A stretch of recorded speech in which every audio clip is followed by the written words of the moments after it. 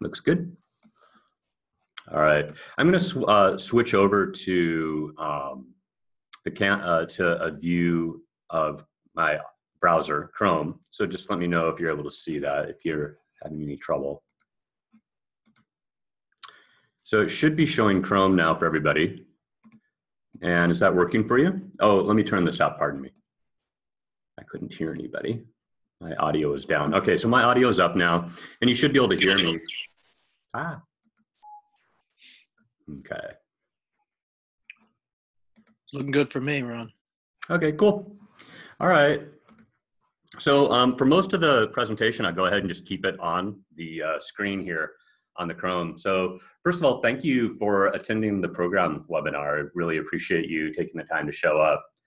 Um, so what I wanted to do was to go through and um, talk about the um, HCI program, which is uh, now five years old, and talk about um, uh, some of the um, uh, goals that we have and um, and competencies and have this and uh, and about lectures as well. So so the HCI program is now about five years old, um, and you may have actually received an email from Leslie Heiser Newquist. She's our dean, and it has the uh, HCI five-year program review in there.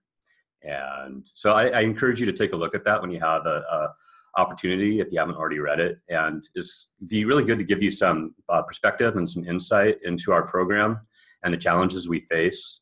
Um, one of the challenges mainly is low enrollment and, uh, and how we can work to improve this um, and our goals for, all, for the next several years. Um, okay, so did you all get the URL? Is that showing up on the chat? Because you should have a URL to this lecture here.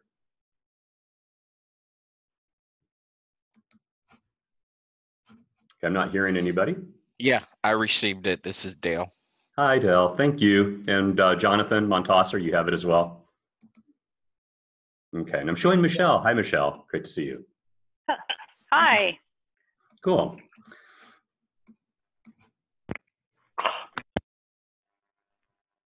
Okay, so um, our program used to have a uh, on-campus faculty meeting, and this is where the adjunct faculty and the staff would get together, and we'd actually meet up in a classroom on campus. But um, uh, in the last year or so, there's been a shift away for, from that. From uh, and so our faculty are well, we've always taught online. Our program's been online, but now most of our faculty are coming from all over the country. So it doesn't make sense to really meet on campus. We have people. We have um, at least I think two instructors from Texas, instructor from from Tennessee, and other parts of the country. So um, therefore, it uh, makes more sense for us to be meet virtually. And this is our first um, all faculty meeting. And just to remind people that we are recording this, so those of you, so those faculty who couldn't be here are able to um, able to tap into this at a later time.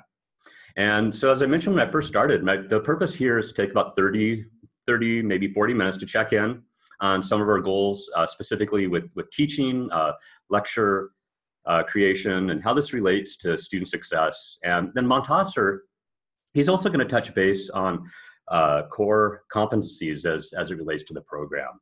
And then I hope too that we have a few minutes for questions and feedback. I just wanted to take um, one minute to have us go around and introduce ourselves, uh, since most of us haven't had, had an opportunity to actually speak to each other. Um, and so, uh, just really quickly, um, my name is Ron Austin, and I'm the the um, the e-learning specialist, and I've been teaching at the college um, for about 18 years, and I've taught uh, programming here. I don't teach as much anymore because I'm working full time uh, within HCI, but I still teach probably about one class a quarter. And so, uh, there's someone who would like to go next. That would be awesome, and just take like 30 seconds just to introduce yourself and your role in the program. Hey, uh, it's Michelle Warfield. I'll go next. Hi, um, my name is Michelle Warfield, and I'm an online adjunct instructor. I am the first one that joined the program um, back when it started um, teaching online. Uh, I've been at Bellevue for four years, and I love it. I teach between one and two uh, courses every quarter. Um, I have a master's in learning and technology. Um, and I also have 10 years in healthcare IT 26 years in the IT industry. So um, I come with subject matter um, background. That's what I know. All right. Thanks, Michelle. Awesome to have you join us. I'm I'm Jonathan Molinaro. I, I'm the writing specialist in the program. Uh, I've been uh, I'll be here for for two years coming in the summer, and uh, and I've worked with uh, most of you already. But if I haven't, feel free to reach out, and I help create resources and sites and assignments and and help students one on one with their academic skills and writing. All right. Great. Thank you. Maricel, do you want to introduce yourself? Thank you, Ron. So my name is Maricel. I have been teaching at the college for almost four years now, and I have been an instructional designer for the program um, since last year. I also have taught one class um, for the program that was data analytics last quarter, and it's a pleasure to work um, with all of you. Awesome.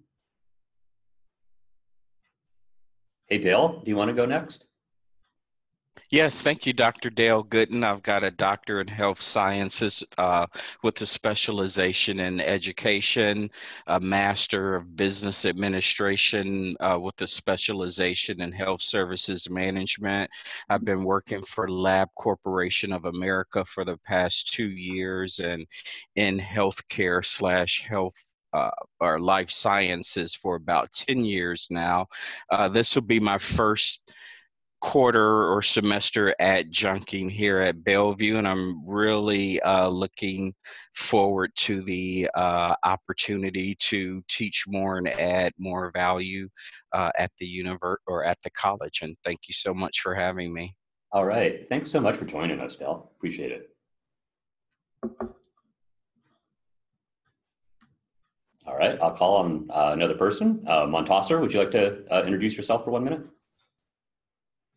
Yeah, uh, hi everyone. Uh, Mountasser Kadrie. Uh, joined the college uh, last year. I'm a full-time faculty in the program HCI, uh, and um, I have many years of experience in the healthcare industry and a uh, fellow of the American College of Healthcare Executives. And uh, I do really enjoy teaching online and help our students move forward. So Nice to meet you all. All right. Thank you, Mountasser. Kim?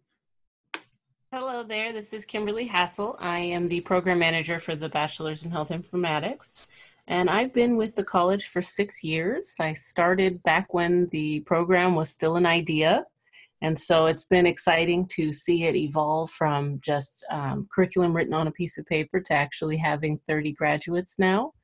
Uh, so, yeah, and I um, I support, in my primary role, I support students as their advisor, and I manage the administrative side, all of the budgets, and those sort of behind the scenes things that keep the program running.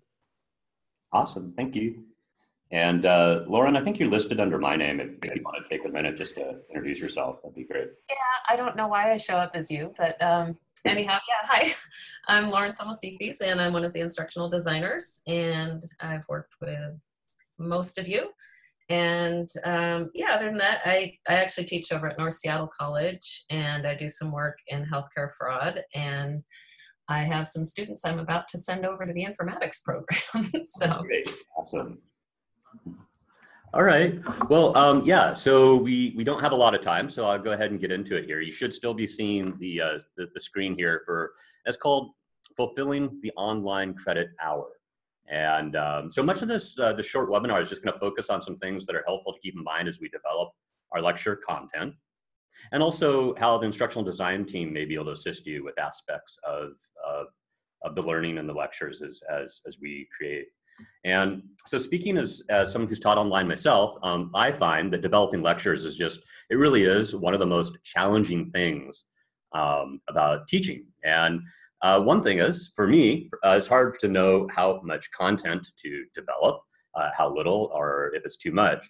And it's weird because uh, when we teach on campus, um, and I think some of you, or maybe all of you, have probably taught on a physical campus at some time or another. But when we teach in a classroom, you know, we um, we show up and we we're going to boot up our computer or, or, whatever and we and students arrive and then we start our lecture and so even if we don't spend the majority of time uh, lecturing in the classroom, we do know that we need to fill the time somehow because we're physically on campus, right?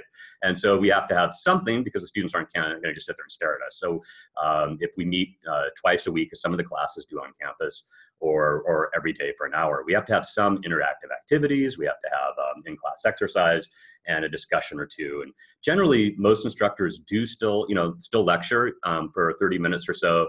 Uh, or an hour, depending on the length of the class and how often it meets. But um, but and also too, this is going to be usually in addition to out of class material, and so we'll likely have assignments, right? That you'll give people every week or two, and then you'll have some homework, and then there may be a quiz or exam that they're going to be studying for. So there's going to be both the on-campus. Um, uh, or excuse me, yeah, the, the in-campus, the, the, the in-class time, as well as the out-of-class time with the physical classroom. And so um, let me direct our attention over here to the introduction if you haven't had a chance to look at it. And so the way this works, I think most of your classes have this set up already. We're using this format, it's called rise.articulate. And Articulate is the company and they make um, uh, software for developing lectures. So this is what we're uh, using at this time. And so you can click on start lecture. As, as I said, most of you probably already have this in your classroom, so you've probably seen the setup. Um, if you're on Bellevue campus, it's going a little slow, but uh, uh, just bear with me as we get into this. So for the introduction here, um, there's this thing called the three to one uh, ratio. And I don't know how many of you may have heard of this before, but i am just going to give a brief overview for probably about three minutes here. And of course, we know that online classes are not anything new right? The world's been offering online classes for like 20 years now. And in fact, Bellevue College um, started offering the classes around 1998. And I was actually a student in one of the first online classes, and the topic was developing online content. So it was a class on HTML. Okay, but, but even though the classes, the online content still isn't new, um, sometimes it's not really obvious for how to develop uh, how much content and even within BC, within Bellevue College, there's going to be a lot of difference here from one course to another.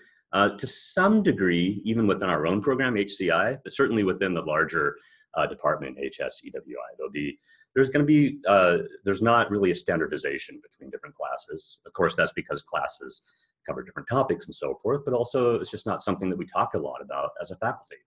And so, how does one know how much to develop for an online lecture, uh, and how, or how little, right? And are there any actual guidelines? And it doesn't really seem like there's. It, excuse me, I'm talking a little fast. I'll slow down. Um, it doesn't seem like there's any rules, right? But there is actually um, some standardizations to go by, um, and these uh, are known as um, really the three to one ratio um, has well uh, I was going to ask this as a question. I mean, has has has everyone has has have, have any of you heard of the Carnegie Unit and the Student Hour? Maybe all of you have, because a lot of you do focus on on education, and you have a doctor, and uh, several of you have doctors in education. So you've probably heard of this at one time.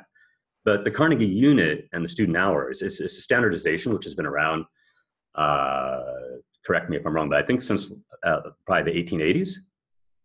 Um, the Carnegie Unit was initially developed to measure how much interaction faculty have with students, so that um, so actually uh, Carnegie, uh, who was um, uh, funding retirements, they wanted to keep track of how much people were working, um, how much time faculty were working. So so the, they developed this measurement um, known as the three to one ratio. And then this eventually became extrapolated out um, separately, uh, set forth by the Department of Education. And so the Department of Education took on this, and most high schools and colleges follow this three to one rule. And it directly relates to diplomas and graduation and so forth. So um, when people, so there's actually um, two standards. One is for like retirement, and the other one is for meeting um, degree requirements um, when people are referencing three to one, they're usually talking about the second with the degree um, re, uh, requirements. Um, so what it means is that um, for every college credit, this is typically true. It's not it's not universal 100%, but it's typically true that for every college credit a class is worth across most any college, um, uh, public or private, um, that for every college credit, a person, uh, a student spend two hours outside of class with reading and activities, you know, such as homework or whatever, um, and then they'll spend one hour in class interacting with the faculty. And so this could usually be like the lecture or the discussion in the classes. Um, so um, most of our classes are more than one credit, and many of our classes in HCI are, I think, five credits, right? So this means that a student is expected to spend 10 hours per week outside of class with the reading and activities. And the student is also expected to spend five hours per week in class with the lecture, discussion, and there can be a quiz in there and so forth too. So where it gets, um, I don't know if, if murky is the right word, but there's but there's no hard set rule about how much of the five hours, right, for a five credit class, how, how much five hours per week should be lecture or other material in class. And there's not a lot of data out there in the online world to support how long lectures take, right? So obviously, if you record a half hour of audio, well, obviously that takes a half hour for someone to listen to, at least, unless they pause it and, and play it and so forth. But if, if there's a lot of text on there and a lot of images, there's not necessarily, uh, well, there's not a lot of data out there to support how long it takes to get through that text lecture content. And then the reason why uh, this is important uh, also, when you actually, there's a continue button down here, which talks about why it's important. Well, I mean, first of all, uh, ethically, we want to deliver good material for our program. And then also, uh, programs are continually um, audited, and, and audits are generally done um, by accreditation boards, of course, uh, the US Department of Education. And so it's not just all talk because you may have heard of Western Governors University and they've ran into problems because they haven't had enough student contact hours. Um, and there's other colleges as well. I don't know, Lauren. Do you have do you have anything to? sorry to put you on the spot, but I don't know. Yeah, yeah, no.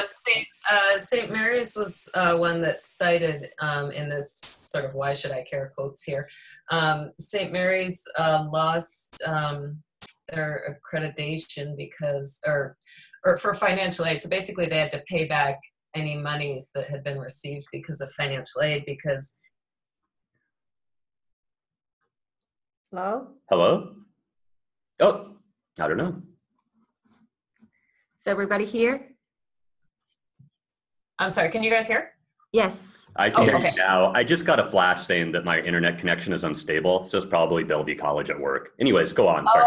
Oh, okay, sorry. Yeah.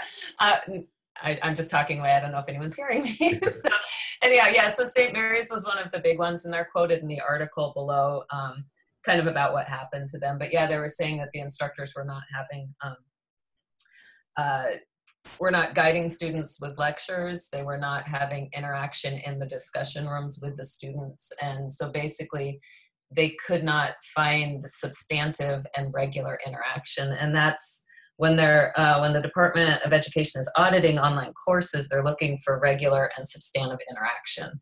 So that means that they have to be in there regularly and they have to be having meaningful interaction and that can be um, done in a variety of ways but yeah. All right super cool thank you. And then um, as you're looking through this um, you know there's the the part here why should i care? And then there's uh, it's, it's, it's an image carousel so you can go through and see quotes um, that have information about that. And then also what can you do? There's an article down here that talks more about um, interpreting what's required for regular and substantive interaction. Uh, good to look at because it covers both you know creating lectures and then also uh, other type of interactions so such as uh, setting up discussions and so forth like that. All right. Um, so we're going we're actually um, uh, going a little slow here. So I'm gonna jump jump to the next one here. And this next one here is time on task. And so time on task is, um, this relates to a survey that Maricel uh, created. And this uh, time on task survey in which you as the faculty, thank you very much for participating in this. And um, so for those of you who are teaching the program, you had an opportunity to, to evaluate how much time you felt that your students spent on the course material and then we also gathered information from from from from I'm going to turn it over to Maricel for a few minutes, and she'll talk about this time on task survey. Here you are. Hi. Um, because you have access to this awesome uh, material that Ron and and Lauren put together, you can also go through it um, by yourself. But um, because we are uh, promoting these or trying to research on how well we are doing, we uh, thought about getting some data. We have um, few responses, and of course, we cannot draw conclusions, but it's the first step um, on our journey to um, you know do research and get you know statement based on data. So we created this um, time on task survey actually using Office 365, the form Fisher, and we got 19 responses and we got seven responses from faculty. So it's important to notice that it doesn't mean that we had 19 students um, responding to that survey. You can see the distribution on this um, chart of the classes and the student who responded uh, one, res- one student could have actually responded to um, the survey multiple times based on how many classes they were taking. I should add though, sorry Maricel for interrupting, mm-hmm. but I just want to add though that there were at least 11 or 12 students who responded, which is a good turnout. Oh, oh well,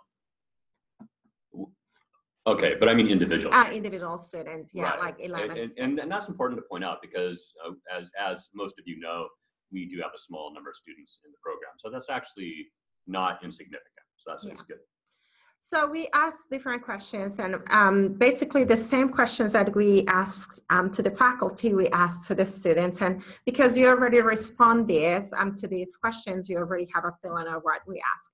So we put together a few results here um, regarding how much time that you feel your students spend in the class and also the student response. So you can see the results on this tab here. So this is a faculty response overall, and this is the student um, response overall. And we actually have the database also um, individually by classes. So if you are teaching a class, you can also look at, at the student response based on your class. What we notice overall from these um, student response and your response as a faculty, most of the programs the students spend over 10 hours a week um, for, for the classes. And because all of them are five credits, we are mostly meeting um, the target for uh, the requirements of the state that Ron was talking about. We also have the activities. We divided um, the time on tasks based on the activities. And most of the classes, we have similar activities that like discussions, final project, required readings, listening, assignment, quizzes etc. So you have the faculty response here. How much do you think um, the student has spent on every task and also the student response? And we, when we put this chart together next to each other, you see a similarity between your, um, your expectation and time and also the students, what the student thinks about um, spending time on this, on this task regarding the um, the best learning experience, um, we have a little bit of difference between what the faculty thinks and what the students um, think. Overall, on those that you agree that they bring the best learning experience, your response matches with the student response. And we also have this data based on a comparison between the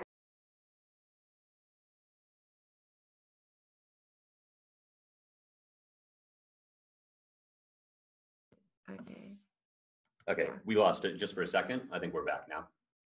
Okay, so this is based on how much students agree. So they really think that the listening and readings bring the best learning experience, but also the assignments. So these, you, you can actually see the, um, I mean, your response on it if you compare that with the students, they um, strongly agree on the listening and reading, but they agree most on the assignment. So they actually think that the assignments bring the best learning experience for them. So um, we have other other uh, questions that we didn't put in here, but I'm trying to look. Let me go up.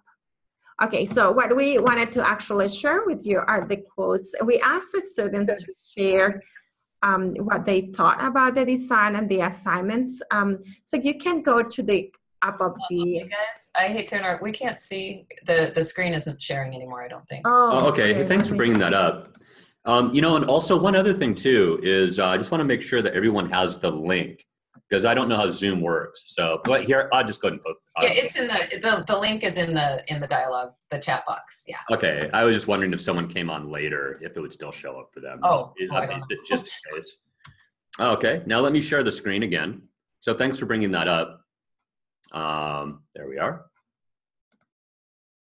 Okay, hopefully it's showing showing now. And uh, let me actually, I'm sorry, I just want to make sure it's only showing the Chrome. Okay, good. Okay. Um, is, is that working now, Lauren? Oh yeah. Okay. All right. Thank you.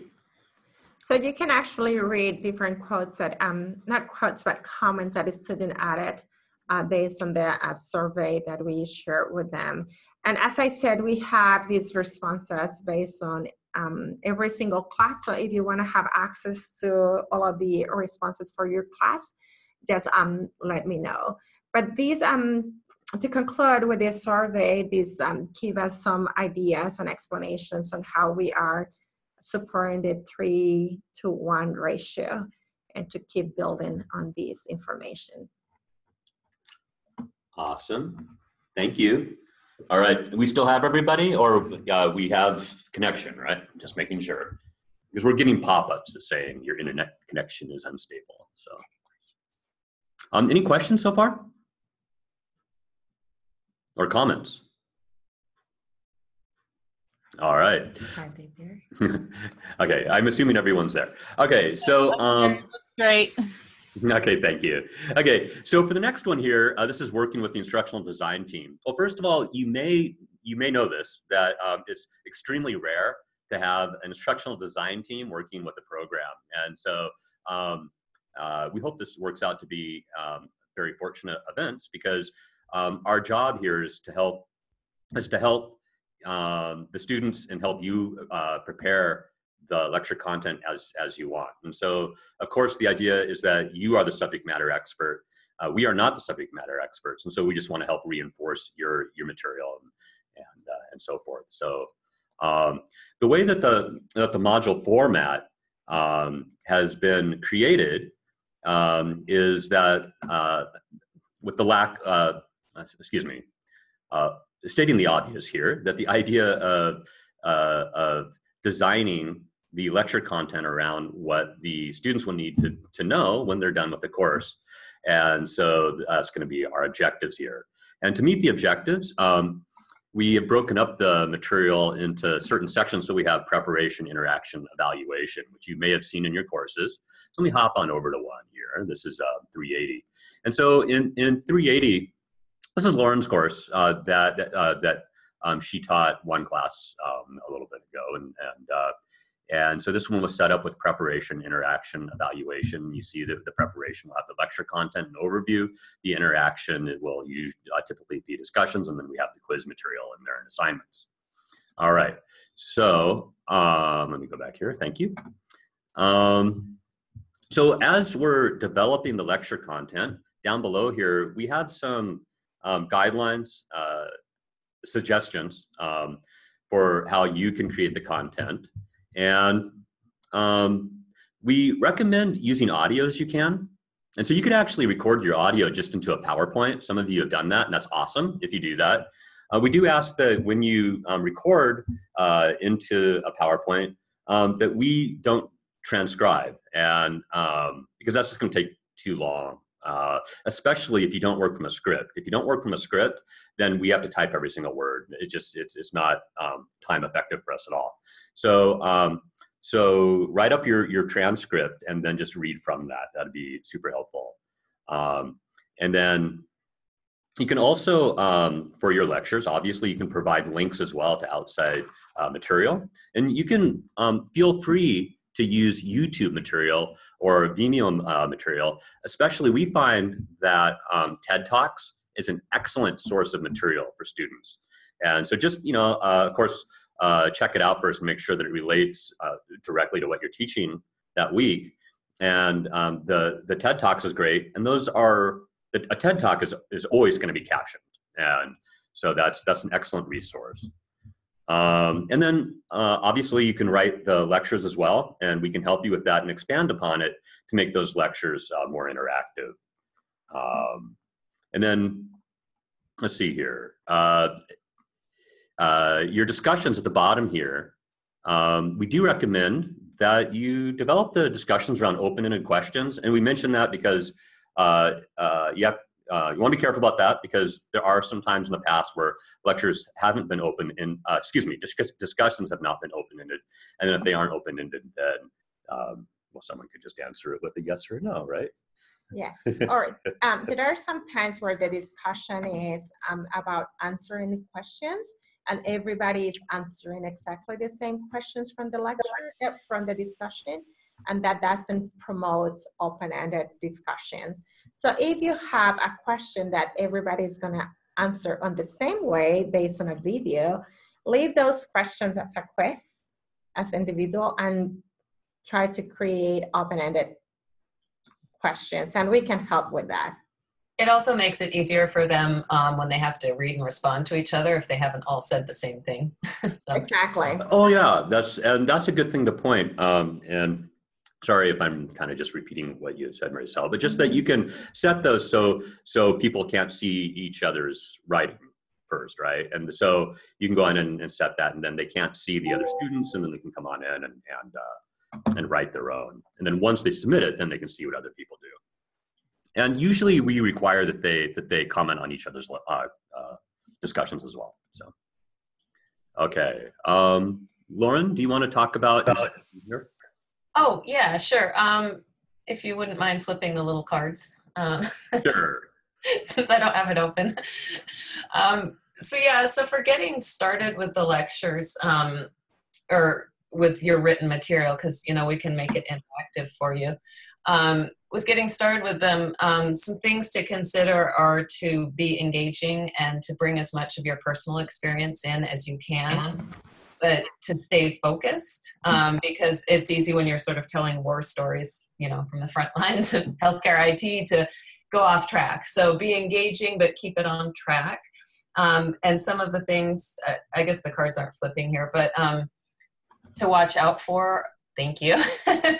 Um, if you take over a class that has been personalized, be sure that you change it out so you're not using the same story from somebody else because it's not actually your story. Um, and then another one is there's there's oftentimes a lot of references to page numbers and it, it it's helpful if you can avoid that because um, it, it, you know the additions change the reading materials change. Uh, but if you could give us the designers the information we could maybe make something interactive out of it so that you don't have to reference the page number. We can we can do something with it for you yeah, this is uh, uh, this is a big one here for referencing the page numbers, and I do that myself in my own lectures that I create for programming class. But then, especially if it's an audio lecture, but either way, you're gonna have to change that when the uh, when the book is updated or as you switch the book, and or the if the instructor changes, right? So that's just something definitely to keep in mind. So thank you, Lauren. Yeah, and then um, we've included an article in here, um, the link to it that you guys might want to read because it's it gives really good information about the powerful um, use of images and how using images can really increase retention um, versus just using um, text. And it also gives a great warning about why you should not have bullet points on screen while you're talking. And you'll kind of see that when we go through the next section because I have words on the screen. And then if I'm talking, um, it's, it's a challenge because the brain processes um, verbal and written information uh, sequentially. So you can't pay attention to what you're reading while you're listening because essentially it's like having two people sitting next to you talking at the same time.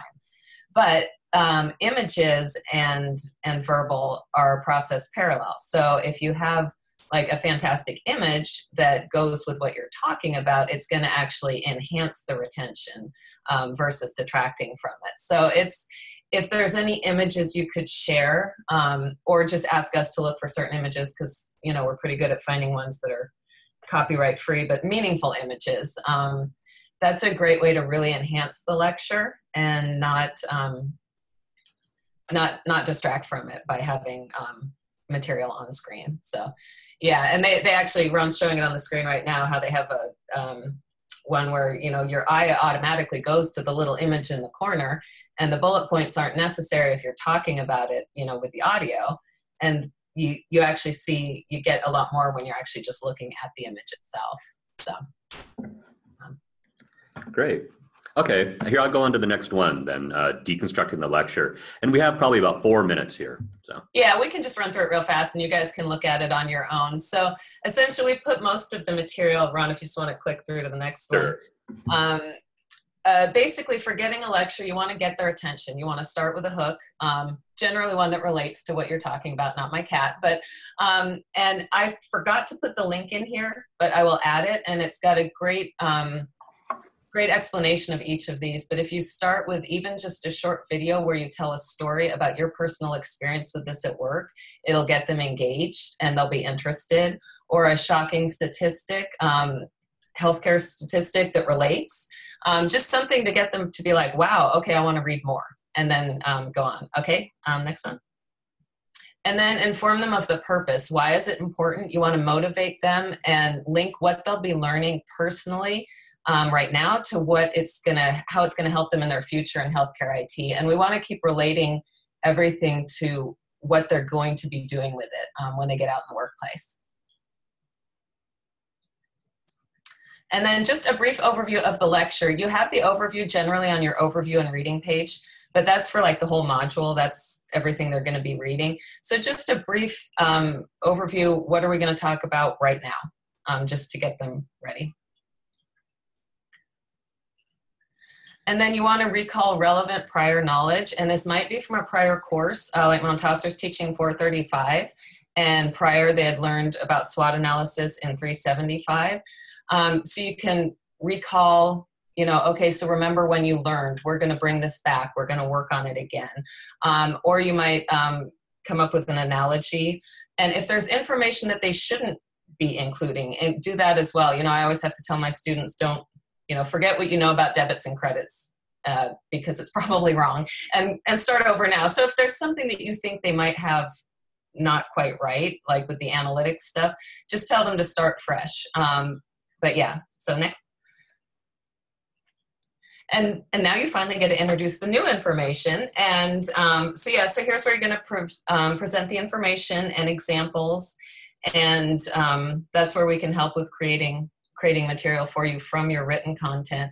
And it helps to have like a, a combination of narrative, like you talking in the first person, and then facts that we can make interactive, that we can turn into to flip cards or tabbed information um, so that it's not just you talking, so that they're actually engaging with the screen to stay focused on it.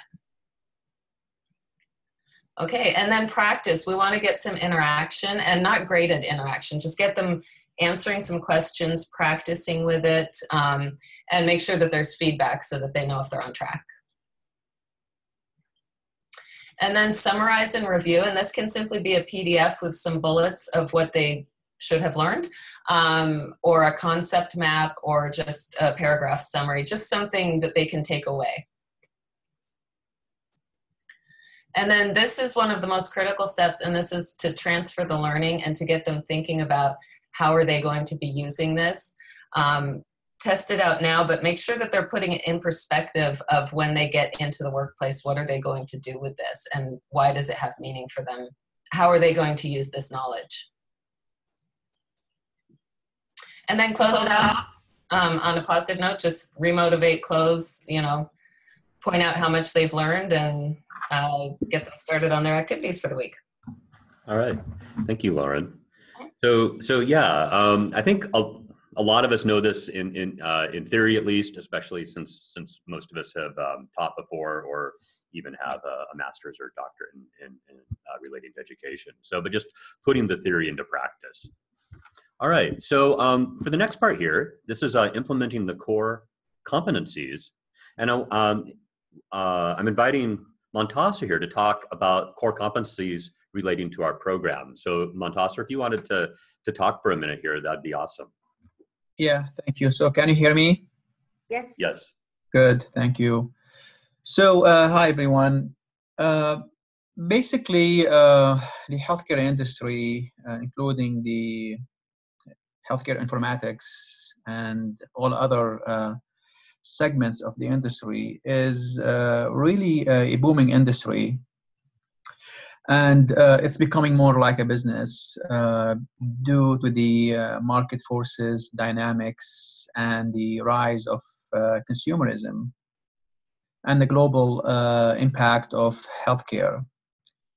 Uh, and employers are really uh, demanding that uh, academic programs, uh, whether they are bachelor degree or graduates degree uh, programs, to really prepare our students to face the opportunities and the challenges that are impacting the healthcare industry.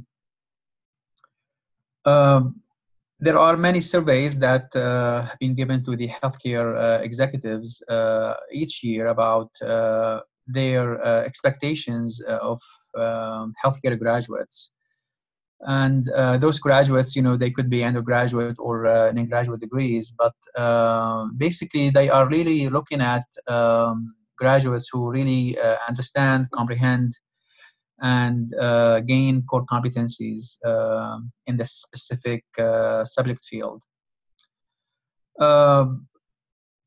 If you look at the uh, trend in healthcare, uh, there are two booming uh, subcategories within the healthcare industry. It's the healthcare informatics, the digital transformation, and also the shift into healthcare data analytics.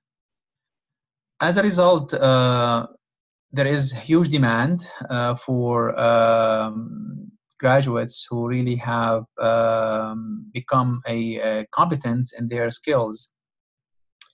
And our program, uh, it's really a an excellent programs and that we have right now. Yet we need to really uh, look at our courses and to map those into a specific uh, core competencies. Right now, the Commission on Accreditation for Healthcare Informatics and Information Management uh, Education, they are really uh, proposing a draft for 2018, which is going to include um, uh, core competencies for um, uh, healthcare informatics. And uh, it's still a draft, but it's there. And uh, pretty much once they approve it, they will announce it announce this to the uh, industry and uh, pretty much uh, when a graduate in a, from an informatics program is applying for a job the um, the organization or the employer will ask the students about specific core competencies and they will require that they provide them with a mapping of the core competencies in their courses and in the program uh, this is a dynamic uh, subject matter that we are really talking about here. Um, and many uh, healthcare uh, programs within the uh, healthcare industry have already implemented core competencies. And the core competencies could range from 25 to 45 competencies. So what I'm trying to introduce here to our HCI programs is what we have right now is we are looking at um, what we currently have is a course outcomes and uh, and those course outcomes are mapped to the program outcomes and the college outcomes, which is really a good idea. But uh, the recent development is we are moving into core competencies and uh, we really have some work to do in our program to map the core competencies we need to agree on those and then we need to really map those core competencies to each specific course so uh, when the students are really moving from one course to another or from one quarter to another they really are getting the core competencies they need to have. And when we really map the core competencies to the uh, core uh, to the uh, program outcomes and uh, to the uh, program mission, vision, and values, and to the college, we really are ensuring that we are providing or equipping or giving the students the um, the most important core competency they need to have and the employers are looking for. Bottom line is this uh, employers are looking for uh, problem solvers looking for graduates with high level of critical thinking skills and the ability to really uh, uh, tackle issues related to healthcare informatics. Um, so i'm introducing this topic to our program uh, in order to really start a discussion. Uh, it's not going to be done over uh, one meeting or two meetings. It's really a, a long process. But we have to really uh, right now pay attention to it uh, because um, you know um, employers are requesting this and they are demanding this. And then right now the accreditation agencies are working on this and it become a reality very soon. So uh, you know, it's a uh, it's an ongoing discussion, and this is just the starting point. And I really need to uh, uh, you know um, take this uh, effort as a serious uh, matter because um, we are really supplying the marketplace with the graduates who really will be hired by the employers, and employers are becoming very picky and demanding. Thank you. Any questions? Thank you so much. Thank you. Um, I'll uh, I'll second Mountasser's uh, question about if there's any questions or comments. Um, uh, really about the the the uh, whole presentation here, but also focused on what Mountasser was just talking about um, uh, with the competencies, uh, maybe even relating to the to class you're teaching.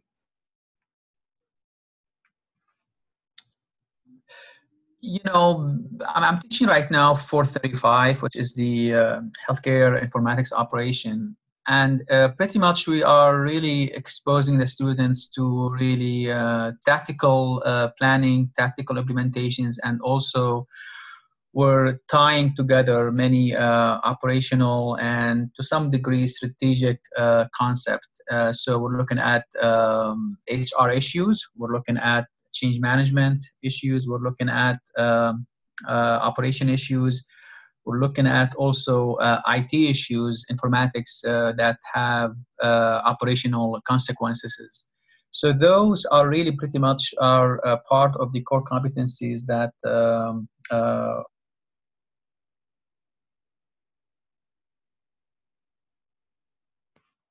Okay. Um, are you still talking, Mountasser? Because we can't hear you. Okay. Um, are you there? Is anybody there? I'm here. Okay. I'm here. I'm still here.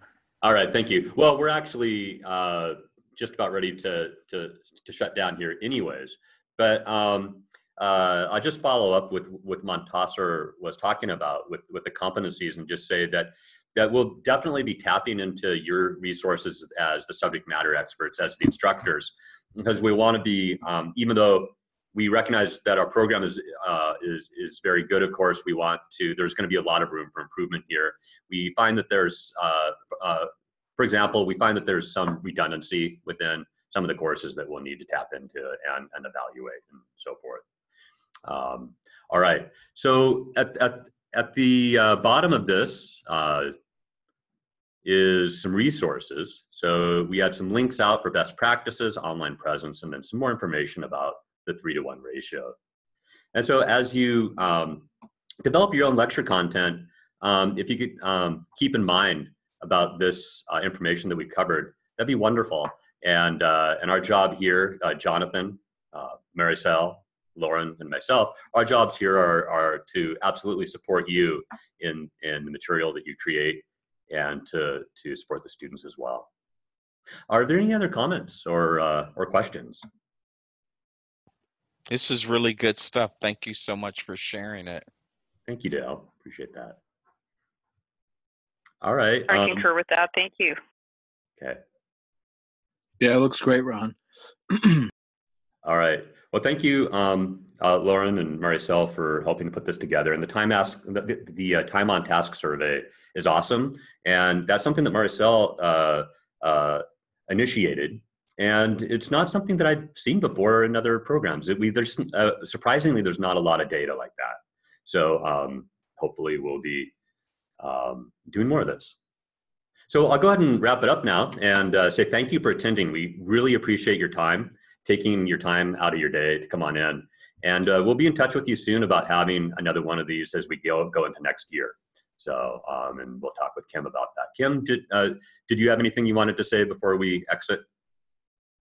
Um, I guess I could say a few things. I, for one, thank you for taking uh, your group expertise in instructional design and shedding it, shedding um, some expertise and sharing that knowledge with our instructors and vice versa. The instructors that are in this call, um, you bring a lot of work, real life work experience knowledge, and having studied this material. And what you offer to the students is an opportunity to learn more from people that are on the front lines, if you will. Um, and so, what Mountasser was getting at at the end of, in terms of the core competencies, that is an area that um, I've talked with the dean, and that is an area that she'd like us to continue to move forward with. Um, because we're a professional technical program at a community college that is focused on preparing students for uh, roles in the community, she, if this is something that the industry is going to be pushing towards, then she'd like us to have the agility to make changes in the program that will make sure that what we deliver to students is what they need to be successful. Um, so my hope is that, again, we'll continue these conversations, we'll continue to do the research we're doing on time on task in the classes through the remainder of this academic year. And hopefully with the, um, once we have a full-time program chair uh, hired, my hope is that happens sooner than later, hopefully next year, um, then we can really start to dig our feet into identifying core competencies and reframing a lot of our courses around that. All right, wonderful. All right, and I'll just uh, second that and say that we are, we're, um, we really enjoy working with all of you, and we're um, we're here to support you. So thanks again, and um, unless there's any other comments or questions, I'll go ahead and close out. I'll, I'll, just, I'll, just, say one thing, Ron. Uh, okay, thank you, Jonathan. Yeah, so all the things that uh, Mountasser was talking about uh, with critical thinking, uh, you know, life practice, you know, being able to problem solve. If uh, any instructors have any questions about how they can implement some of those things in their assignments, uh, again, feel free to reach out to me. I can I can help work and, and, and help help you work in, on your assignments, discussions, whatever it is. Try to get some more of those critical thinking elements in, involved. All right. Well, this this was really awesome to have this meeting, and we look forward to having um, uh, future ones as well, so we can engage with you and learn from you. This is great. Okay. Thank you all, and uh, we'll be in touch with you soon about next quarter. Thank you. Thank Take you. care, everyone. Bye bye. Bye.